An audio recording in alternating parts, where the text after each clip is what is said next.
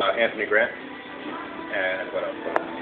Oh, um, so just tell me about your work and Um, so yeah, basically, um, my work is um, a lot of a lot of different things, but it, it's, it's mainly lots of uh, textures, typography, and um, lots of lots of graphics as well.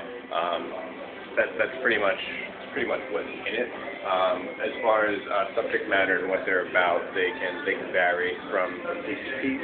Um, some of them are deeply personal, some not. Um, but yeah, that's uh, that's my work.